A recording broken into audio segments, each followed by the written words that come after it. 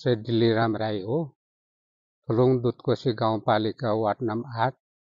यो टोल यो मन्दिर रहेको चाहिँ सिजेर हो सिजेर टोल भन्छ। र यो धर्मको बारेमा मन्दिरको बारेमा चाहिँ हामी किराँतीहरू पहिला मतुवाली भन्थे। तर अहिले हामी चाहिँ शाकाहारी शुद्ध शाकाहारी भएका छौँ र हामीलाई करिब करिब मतुवाली भन्नु मिल्दैन होला। किनभने जाँड खाएर मात्नेलाई चाहिँ मतुवाली भन्छ भने हामी चाहिँ अहिले अलिकति शुद्ध शाकाहारी भएर यो मन्दिर मेरो साइला काका पहिला इन्डियाबाट जसमानी धर्म लिएर आउनुभएको थियो। त्यो जसमानी धर्म मान्दा मान्दैमा फेरि हाम्रो किराँती अवतारी आएको हुनाले त्यो जसमानी धर्मबाट यो कलङ्की धर्ममा उ गरेर हामी दुई हजार आठ सालबाट यो धर्ममा आश्रित भएर सुरुमा आठ सालदेखि चौतिस सालसम्म खरको मन्दिर थियो यस्तै टाइपको। चौतिस सालमा अर्को जस्तवाले निर्माण गरेको थियौँ र गत वर्ष चाहिँ हामीले यो इटवाले बनाएर पुजिरहेका छौँ। र अहिले चाहिँ हामी बिहान बेलुका पूजा गर्ने शुद्ध शाकाहारीले र उधौली उभौलीमा यसमा हामीले समाज यज्ञ भन्छौँ र बिहान बेलुकाको पूजा चाहिँ मैले गरिरहेको हो। हामीले यो टोलमा कोदो मकै धान रोप्ने गरेका थियौँ। अहिले चाहिँ समय परिवर्तनले गर्दा हुँदै सुन्तला केरा नगदे बालीमा लागेका छौँ। यो ढुङ्गाको बारेमा चाहिँ यो ढुङ्गा पहिला माथि जङ्गलमै थियो अरे जङ्गलबाट आएर यहाँ बसेको भनेर एउटा पौराणिक कथाहरू भन्छन्। यो ढुङ्गाको सायद तलतिर खोलेर हेर्दा भने तलतिर अङ्गर यो कोइला भेटिन्छ त्यस कारणले यो ढुङ्गा माथिबाट आएको सुनिन्छ के अरे सुनिन्थ्यो। र एउटा योभन्दा तल झन्डै एक रोपनी भन्दा पनि ठुलो ढुङ्गा छ त्यो चाहिँ हामीले हाम्रो बाबाहरूले भन्ने गर्थ्यो। यो माथिबाटै सरेर आएको एक हप्तामा आइपुगेको अरे भन्ने कुरा सुनिन्छ। यस्तै छ र हाम्रो टोलमा चाहिँ अहिले अलिकति के भन्छ यो विकसित र आधुनिकतिर यो टोल लागिरहेको छ। कोरियन कटुस भन्छ त्यो पनि अब कोरिया जाने भाइहरूले पठाएर रोपेर फली पनि सकेको छ। यहाँनिर कटुसको पनि सम्भावना छ। र मुख्यत हामीले सुन्तला नै लाउँछौँ। सुन्तलाबाट यसमा पनि मिहिनेत गऱ्यो भनेदेखि राम्रै आम्दानी हुन्छ। पहिला हामीले सुन के अरे कोदो मकैको उसमा गर्दा हुँदै त्यो बारीमा सुन्तला लाउँथ्यौँ तर कोदो मकैलाई मात्रै लाएको मलले सुन्तला त्यति राम्रो हुँदैन।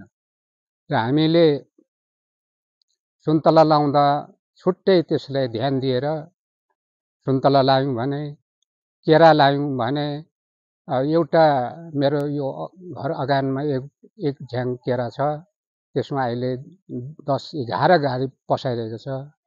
त्यो एघार घारी बेच्दा हुँदै एकै सिजनमा चाहिँ आठ नौ हजार हुन्छ भनेदेखि त्यो सानो एरियामा कोदो मकै भएर त्यति आम्दानी हुँदैन। र यो बाहेक अब काठमाडौँबाट नानीहरूले यो अन्जिर भन्ने फलफुल पठाएको छ यो सालबाट फल्यो।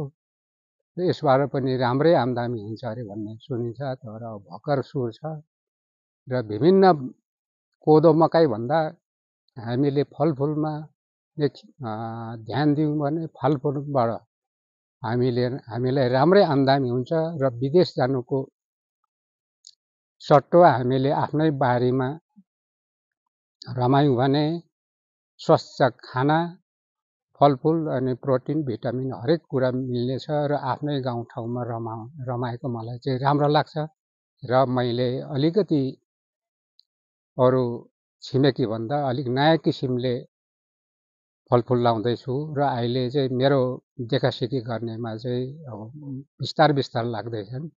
पर्यटनको बारेमा चाहिँ हामीलाई खासै ज्ञान छैन। हाम्रो पछाडिको छोरा भतिसहरूले यसको लाइनमा यहाँनिर त्यो होमस्टे भन्ने सुनिरहेको छौँ होमस्टे बनाएर यहाँको लोकल खाना लोकल फलफुल र यहाँको मनोरम यो योभन्दा तलतिर दुईवटा मन्दिर छ र यतापट्टि पनि एउटा शिवालय मन्दिर छ र यो टोल चाहिँ अलिक नयाँ टाइपको अलि शुद्ध शाकाहारी यस्तै छ र हाम्रो गाउँमा आउने पर्यटकहरूलाई हामीले राम्रो खालको सुन्तला खुवाउन सक्छौँ राम्रो खालको सागसब्जी या एउटा मार्ग बनाउन सक्यो भनेदेखि यहाँ हाम्रो घुम्ने ठाउँ यहाँ हाम्रो प्राकृतिक सुन्दरता यहाँबाट चाहिँ मास्तिर चाहिँ गयो भने जालिम बजार छ। राम्रो खालको यो माथि डाँडा काँडातिर राम्रो खालको गऱ्यो भनेदेखि यहाँबाट सगरमाथा पनि देखिन्छ। यो खालको एउटा प्रकृतिले दिएको ठाउँ छ। यसमा चाहिँ हाम्रो सुन्तलाहरू भविष्यमा राम्रो हुन्छ र हामीले राम्रो गर्नेछौँ भन्ने एउटा लागेको छ। यसमा चाहिँ सरकारले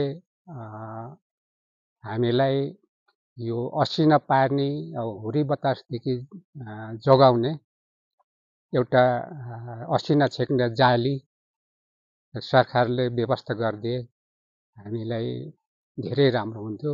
यसमा हामीले करोडौँको सुन्तला उत्पादन त्योभित्र विभिन्न किसिमका नयाँ जातका फलफुल सागसब्जी लाउने गर्छौँ अब चिनमा सुनिन्छ अब त्यो उसतिर देखिन्छ अब विभिन्न किसिमको टनेल बनाएर उनीहरूले हिउँमा पनि बनाउन सक्छ भनेदेखि हामीले त्यो खालको होइन एउटा जाली चाहिँ सरकारले अब पालिका सरकार अब केन्द्र सरकार प्रदेश सरकारले यो हाम्रो टोल सुन्तला एरियालाई जालीको आश हामीले गर्दछौँ। यो सरकारले हामी हाम्रो आवाज सुनिदियोस् भन्ने मलाई लाग्छ।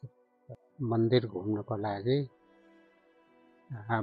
बाटोको त्यहाँ पुग्ने बाटोको चाहिँ एउटा सजिलो सोच गर्दैछौँ। बाटो निर्माण यसमा हामीले अब पालिका वडा पालिका पालि गाउँपालिकासँग समन्वय गरेर भविष्यमा अलिक राम्रो खालको बाटो गाउँघर घुम्ने अलिकति रमाइलो स्ट्यान्ड ठाउँतिर घुम्ने चाहिँ बाटोको सोच गरेका छौँ।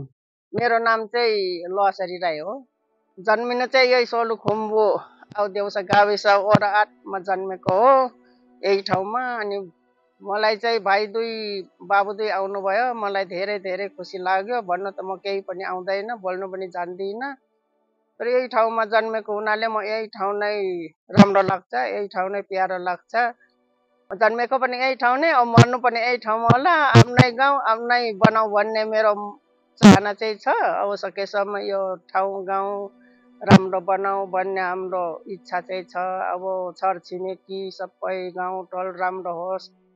अब सकेसम्म छोराछोरी सबै गाउँले ठिटा ठिटीले यही गाउँ राम्रो बनाऊ भन्ने चाहिँ मेरो चाहना छ। मेरो हृदयदेखि नै त्यस्तो मेरो आत्मादेखि नै मेरो चाहना छ।